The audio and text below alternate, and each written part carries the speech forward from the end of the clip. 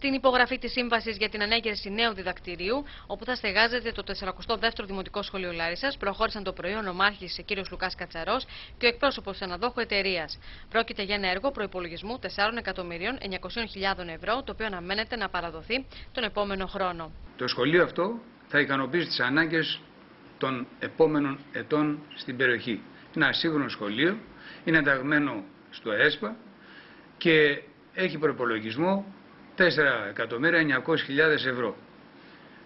Θέλω να πιστεύω ότι η ανάδοχος εταιρεία θα επισπεύσει τις εργασίες για να πάρει γρηγορότερα χρήματα αλλά και να παραδώσει το σχολείο νωρίτερα. Τη βεβαιότητά του ότι θα τηρηθεί το χρονοδιάγραμμα υλοποίησης του έργου εξέφρασε ο εκπρόσωπος της κατασκευάστρια εταιρείας, ενώ ο πρόεδρος του Συλλόγου Γονέων του 42ου Δημοτικού Σχολείου τόνισε πως τόσο τα παιδιά όσο και οι γονείς περιμένουν με ανυπομονησία την κατασκευή του νέου κτηρίου. Θα κάνουμε ό,τι είναι δυνατό να κάνουμε όσο πιο γρήγορα και σωστά γίνεται το σχολείο. Ε, βέβαια, μένει το θέμα πάντα της χρηματοδότησης. Ελπίζουμε ότι θα πάει στο συγκεκριμένο σχολείο, επειδή η χρηματοδότηση είναι από το ΕΣΠΑ, θα πάει καλά.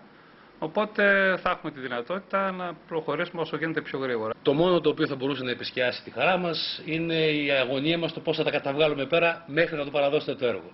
Ελπίζουμε και εμείς στην συντομότερη παράδοση, ελπίζουμε να πάνε όλα καλά και θα τα βγάλουμε πέρα με κάποιο τρόπο. Περιμένουμε.